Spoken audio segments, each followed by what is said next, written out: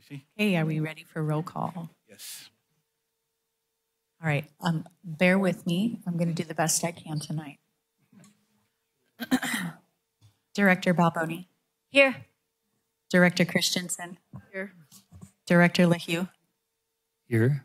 President Jaffe. Here. And uh, Vice President Lather is absent tonight, correct?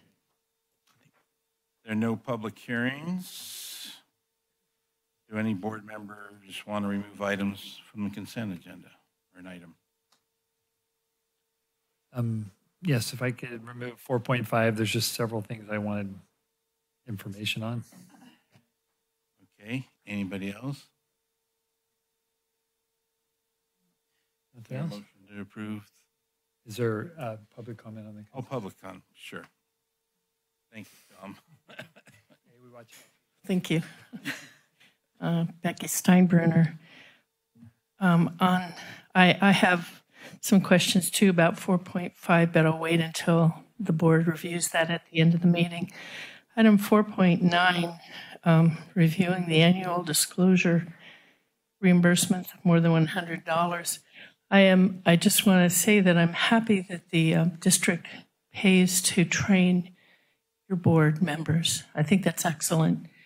What I would like to see is a written report from each board member that goes to these conferences as to what you have learned and how that will benefit the ratepayers in the district. I know I've heard you say, you know, just general passing comments during board meetings about your attendance at these meetings, but um, I think it would be a, a good step toward transparency with the ratepayers and the public if there were something in writing as to what what was the actual benefit of of the board members going to these um, meetings. Thank you. All right, And I'll move approval of the uh, consent agenda minus 4.5. I'll second.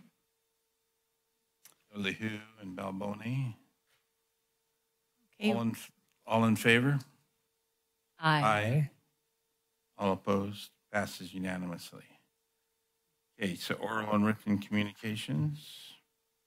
So this is an opportunity for mem- members of the public to speak on any item of interest that's not on the agenda. Thank you, Becky Steinbruner. Um, I was glad to see in the written correspondence for your agenda packet today that my um, concern about the traffic collision at Chanticleer Avenue and Soquel Avenue frontage road last week at the Pure Water Soquel project entrance was included. Um, I happened upon that. But I have written your board before about my concerns at this intersection related to the increased traffic, both the um, perhaps school buses, but certainly private vehicles coming and going from the main entrance of the Pure Water Soquel Advanced Treatment Plant. But also, and of greater concern to me, is the large supply trucks full of chemicals that will be coming and going from there. I know that um, liquid oxygen will be coming there. I know there are other hazardous chemicals that will be coming there. That's a very difficult intersection. It is unprotected. So there's, there's no light controlling traffic in any direction. And now with the Chanticleer pedestrian bicycle overcrossing, that will add another element of um, use at that intersection.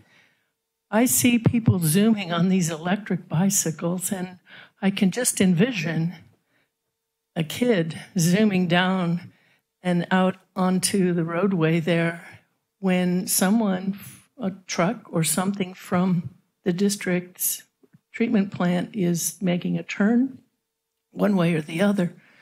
I have written your board before about this because I've witnessed during the construction of the plant that when large trucks come and go, there has to be, and, and the contractor has been very good about placing uh, traffic control there while those large vehicles are entering and exiting.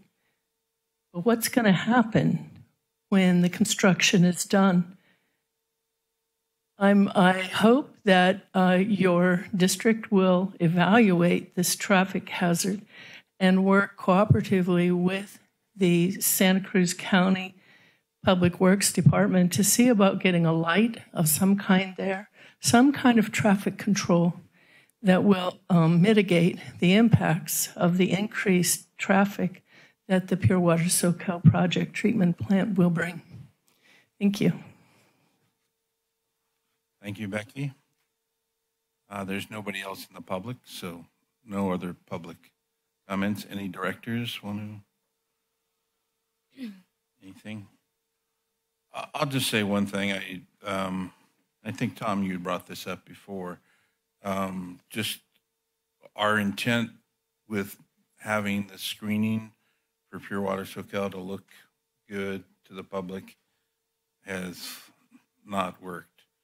And it, it's in- incredibly apparent since the overpass as beautiful um, sea life that's very visible, and people have commented to me about that. So I'm hoping in, in the future that we'll um, upgrade what we have there so that it, that it likewise is very beautiful and the public appreciates it. Thank you. And President Jaffe, I think I just want to make sure that it's clear to, to everybody. Um, yes, that was unfortunate that that traffic accident occurred at that intersection. And I just don't want it to be mischaracterized or misinterpreted that that was associated with the Pure Water Soquel project. It, wa- it was not. And your point is taken um, related to the screenings. Okay. I'm glad you said it because I noticed it when I got back and saw how great it looked on the overpass. I'm like, It looks great, yeah. Where's the other ones? Can't see, I, it's minor, I'm sure it can I know. fixed. But it's part of the whole. Yeah. We've seen for something, we should get it too. we've seen comments, you know, on social media um, in favor and also some criticism related to the overpass. So I think um, there's, you know, when you put something out there, I think that there's always an opinion. Um, Sure.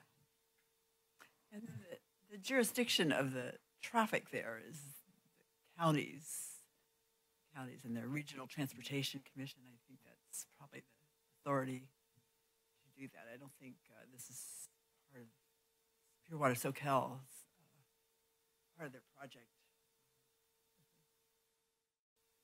One other comment, and is that cities that are using water, read this in the Chronicle, and I think Ron has talked about it before, um, and whose um, water use is high are going to have to decrease their water use.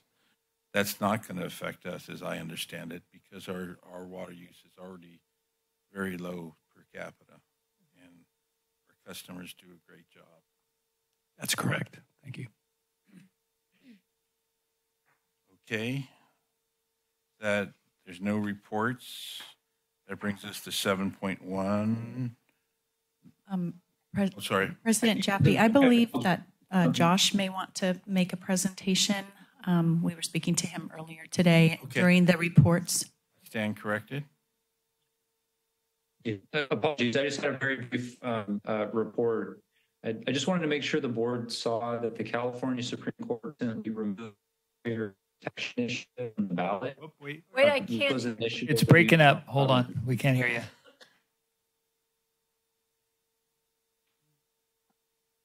Sounds good, better? California Supreme Court. Yeah, I just don't like That part. You want to try it again? Josh? Sure. Yeah, apologies. Um, I just wanted to briefly let the board know, and, and you, you may have seen it in, the um, in the media. Uh, the California Supreme Court recently removed um, the so-called Fair Protection Initiative from the ballot. Um, and they, it's still before the voters in November. It had challenged by the governor, members of the legislature, and others as unconstitutional. Um, due to some unique um, procedural uh, rules that apply in these situations, especially the Supreme Court. Josh, you're breaking up still. month, The court ruled that on the scope of the um, voters to approve and preemptively removed it from the ballot. Um, This is a big win for both state and local agencies. The, the- initiative would have substantially um, limited our ability to raise revenues.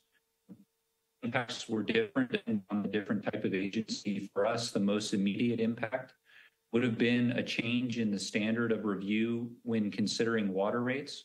Currently, those have to be based on our reasonable costs. The initiative proposed that those the low was somewhat ambiguous in the text of the initiative and likely would have led to substantial litigation to figure out what that meant. Um, but the good news and the takeaway is that the court preemptively removed that from the ballot. Um, so it's no longer, um, on before us as an issue. Happy to answer any questions. Okay, thank you. We think we got the gist of it. What was the ballot initiative? What's the number on that one? That's for you, Josh. Yeah, sorry, Director Christensen, I'm, I'm going to forget. It's a number. I can, um, I can confirm that and I can send the board a note. Okay, thanks. What was it? He has to look it up. I have to look it up. Okay, Okay. But it's no longer on the ballot. Right. okay. Um, Is there any? So that, that takes care of the reports. Tracy, is there supposed to be something live on this? It just doesn't have anything on the screen.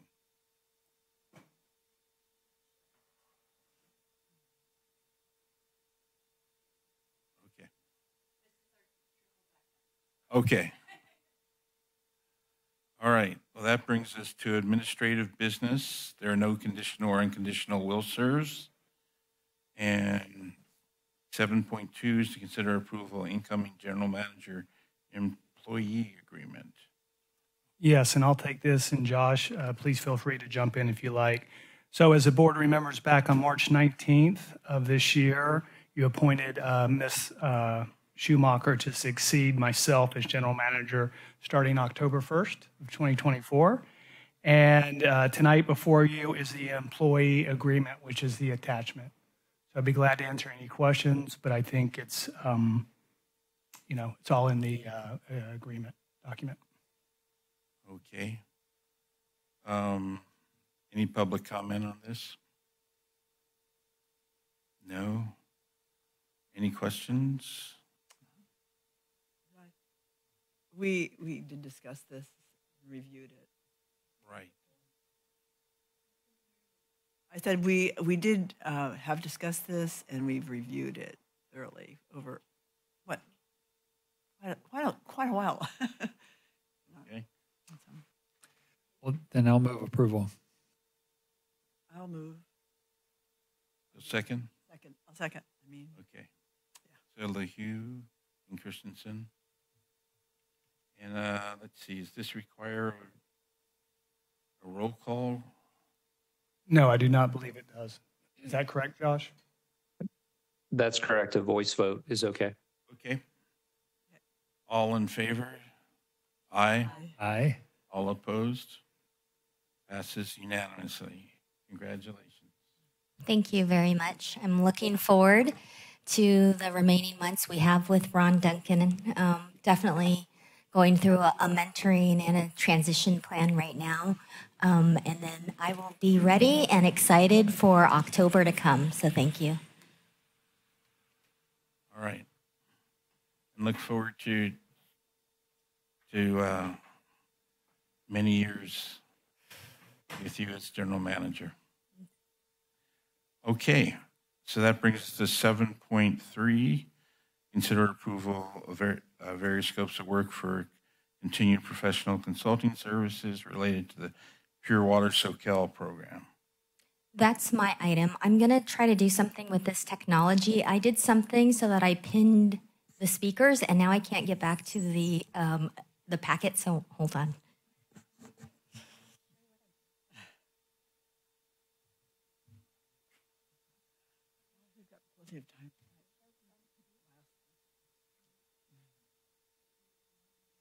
I just want to make sure in case the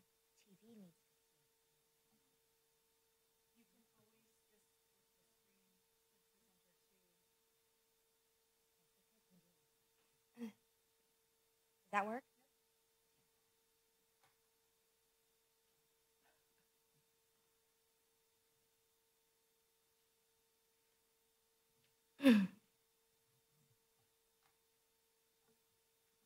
This is our, our first meeting without Emma and Mackenzie. So Tracy and I are are working through the the and stumbling a little bit, but I think we've got it. So does that look okay, T?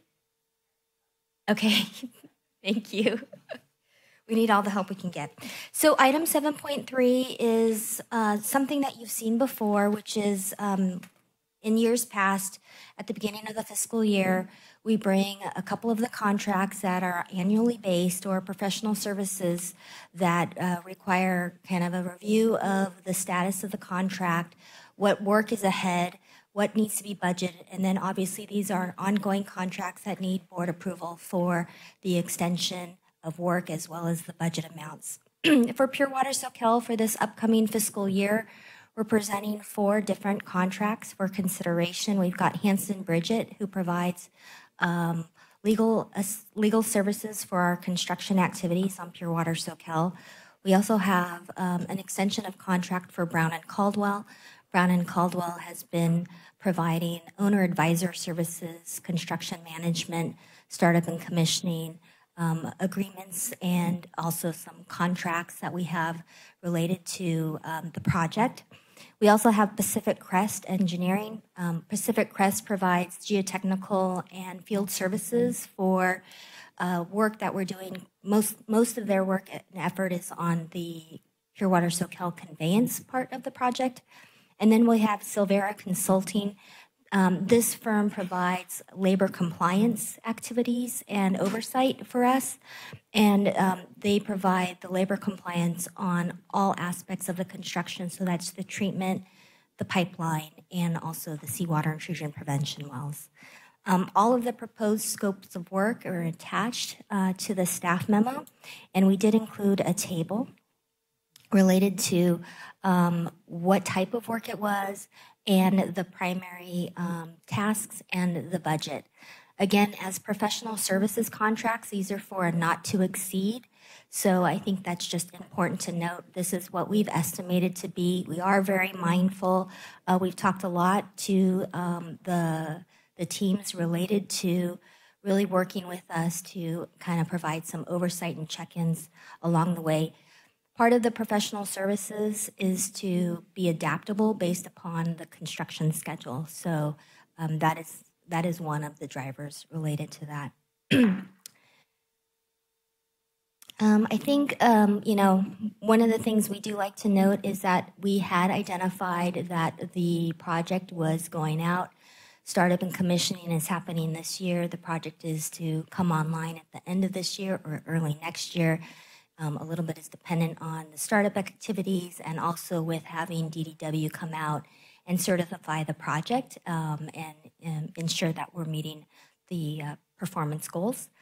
Um, and so, one of the things, you know, obviously, we've been working on the budget. It was included in the fiscal year budget that was presented to the board at the June meeting. And then we'd also just again like to reiterate that um, the project is being funded from grants and low interest loans. So it's always an, an important thing to know.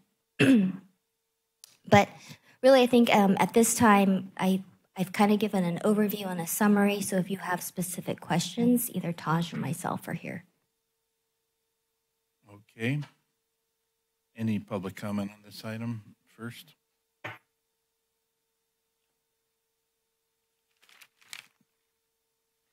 Thank you, Becky Steinbruner.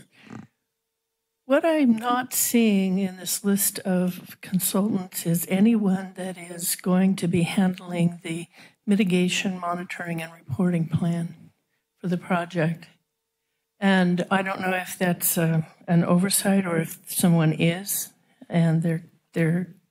If, I, would like some answer on that. Um, it has been ESA associates doing this work, but I don't see them listed. And I'm also kind of happy to see um, Capital Edge, the lobbying group in Washington, D.C., not included. But how does that affect possible funding uh, to help with offsetting the costs of this project. And my final question is um, why isn't Mr. Mumper, the general manager associate in charge of, as it's been said, all things Pure Water Soquel, why isn't he presenting this instead of you, Ms. Ms. Schumacher? Thank you. Thank you, Becky. Are there any questions from directors? I could respond related to some of the other services that aren't um, being presented tonight, if Yeah, you'd like yeah. that. Thank Sure. So environmental uh, services and permitting compliance, which is done by ESA, they do have a contract and we still have funding available on their purchase order, so they are not being presented today. Yes, I assume that. Okay. Any questions from directors? All right, what's your pleasure? Move to approve. Moved, Second. second. And again, I think this is a voice vote, so all in favor? Aye. All opposed? Passes unanimously. Uh, 7.4, consider approval of annual statement of investment pol- policy fiscal year 2024, 2025. And I assume that's you, Leslie. That's me. Um, So tonight, I'm here to uh, present our annual review of our investment policy. Um, For those of you that are on the MGA board, you've seen this come through for the MGA already this year. So um, this is our 2024-25 draft investment policy. There are no um, significant changes over the prior year. Um, We are required by law to bring this uh, to the board for review annually. We pull up the California Debt and Advisory um, Commission, Investment Advisory Commission um, guidelines that they publish annually, and we look through it to see what has changed, uh, what, if any, changes impact the district that we may need to include in our revised investment policy. And as I said, there weren't any that we needed to include this year. So this is just the investment policy as, as it's been presented in years past. Thank you, Leslie. Uh, Public comment? Seeing done. Any comments or questions by directors? Yeah, I have a quick question and comment. Um, So it seems to me that the policy, um, uh, 1.0 policy, it um, would be really helpful to reflect our um, like commitment to environmentally responsible and sustainable uh, investment opportunities. I did a little research, and there's a lot of local agencies, water agencies, that have that written into their policies, such as East Bay Mud, uh, Santa Clara Valley Water, um, San Francisco Public Utility, and Los Angeles Department of Water. So those agencies have adopted policies that actually emphasize ethical financial investments and environmental sustainability. I would be very much in favor of um, like thinking about that for for our district too. I think that's a good point. I mean, I do that for myself, so. So, any comment on that, Leslie? We can certainly include it. I, do you want me to bring back a revised investment policy for this year or include it in future policy years? Um, So what? Jennifer, you want to see it this year or next year? I, I'd really like to see it this year because NOAA and other big um, agencies are, you know, predicting that this is the entry of a big drought, and I think it would be very smart for us to start it now. I'm, I hate to delay that, but I'd love to to have it now. Is there any issue with um, bringing it back? No, not at all. Okay. So in that case, we'll be And I guess, I I was just going to ask, so, you know, I guess you look at how wording would, because it'll take some discussion probably to see what kind of wording other agencies have used. I, I think it's a good idea myself, but I, and thanks for bringing that up. Um, But I, yeah, probably lots of resources to check. Sure. And I, I would point out too that some of those larger agencies invest in securities that we do not invest in. Yeah. So that may be where those come into play a little bit more. Yeah, I realize that we're a small agency and it might not affect us too much, but to really having it right out there in our policy, I think would be forward thinking of us at the very least. Okay, so in that case, um, take no, we'll take no action, going to come back. All right. So, I guess it's, um, there is no seven point five. Oh, four point five, thank you. All right, so let's circle back on four point five, management updates. Um, So- So there was a request for public comment on that too. so Yes. I can do mine after that. Yeah, why don't, yeah, why don't we do that?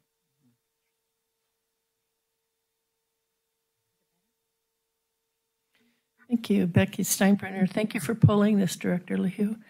Um, on page 51 in the report, it talks about um, the city's ASR progress. And um, I just want to make that very public that it's important that the district work with the city on the, their ASR, aquifer storage recovery work. Um, I also see that um, Granite Construction is approaching the district to use the West Annex property as a staging area for equipment um, associated with the Capitola overcrossing, over, yeah, overcrossing work. I um, would like to ask that the district, if you are considering this, it looks like you are, that you reach out to the neighbors. This will affect them. And that's been a very vocal neighborhood in the past. And I think it would behoove the district to reach out to all of the neighboring residents in that area where the, uh, the construction traffic would be coming and going from, to and from. Also, finally, I do not see anything in the report about the status of the Quail Run tank in Aptos, and I would like to request a status report of that project. Thank you. I know you have a comment, Ron, or possibly about the staging, but um, it, if you wish to, Yeah, you can chime in. I know Taj has been working with the neighbors naturally, as we always do on such as situations. So So- communicating with them. you, you followed the suggestion before it was made. That's correct. Okay, so they are working with neighbors. Thank you for doing that. Um, all right, so Tom? Yeah, I had a couple things. Um, first, oh, that's it. Yeah. Um, so on the first section on Pure Water Soquel, um, it said that feedback was provided on the um, preliminary floor, floor plans and layouts and for the education building, and I've been particularly interested in that. So I maybe an update next time on, or somehow, you know, seeing what the options are and having an, ability for input. Um, and then on the sustainable groundwater, um, on the optimization study, um, I would also kind of like to get an update on where we are with that. And that, you know, at some point, you know, because I know we're not done, and I'm sure we'll get it when it's all done. But I just a, even a brief update about what they're finding so far um, would be great. Um, next one is I was asking for an explanation on what this HydroPro Solutions to do something with our AMI. So I don't, I kind of wanted information on that. Suddenly we're going to have them managing our, says our AMI is going to be, we contracted with someone to be project managers for this. Um, Hydro, HydroPro Solutions is the master meter Oh, um, parent company. That's, that's where all we're right. getting our meters through. So that's for all So the Nothing's fixed really network. changed infrastructure. except for their name? Yeah. Okay. Okay, thanks. I'm like, I never heard of them. Okay. Um, And then um, there was an update on, um, under capital improvements on the country club well. And sounds like we're finishing up the well. And I just wanted, was curious on the schedule for the actual treatment plant.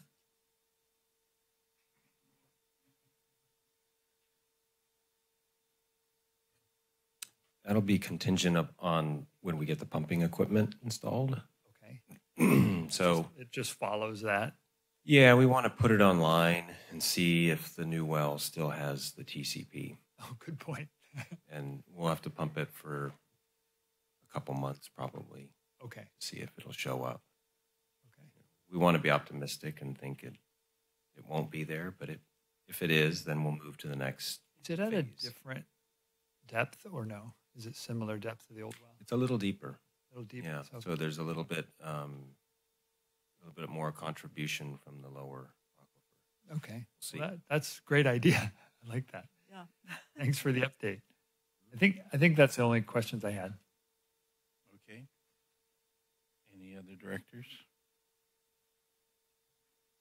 You want to make a, anyone want? Um, I guess not. It's a, it's a management report, Yeah, it's just informational. You don't need to approve anything. so. Okay. So that brings us to item eight, closed session. Um, And any public comment in closed session?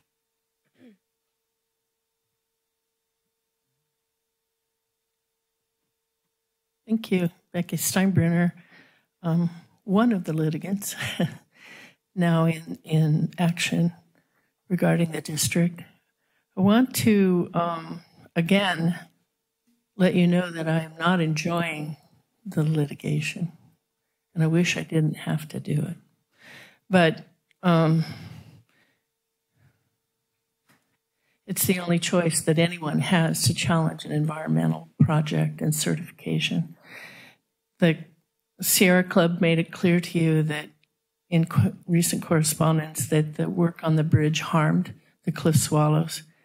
And um, thank you for halting the work there this year. You didn't last year, but thank you for halting the work this year. I went down there and there are no swallows, no swallow activity.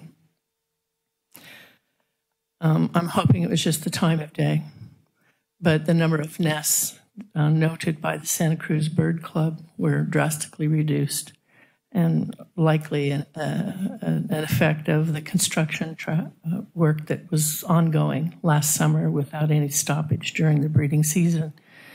So, what I want to say is that um, I would really like to see a settlement of this.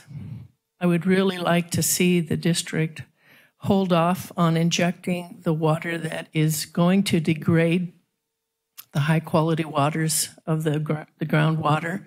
That's what the report, the anti degradation report said. That's what the Central Coast Regional Water Quality Control Board acknowledged. It will degrade the high quality water. And what I'd like to ask you to do is hold off on that until you get this water optimization report and see if it's really necessary couldn't you do as what the city of Santa Cruz asked you to do back in 2018 and consider water transfers, injecting potable water rather than contaminated sewage water? Thank you.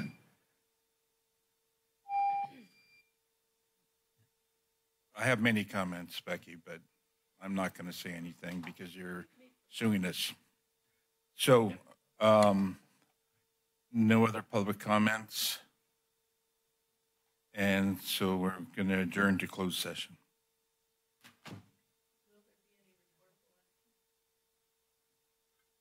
Don't know till after closed session.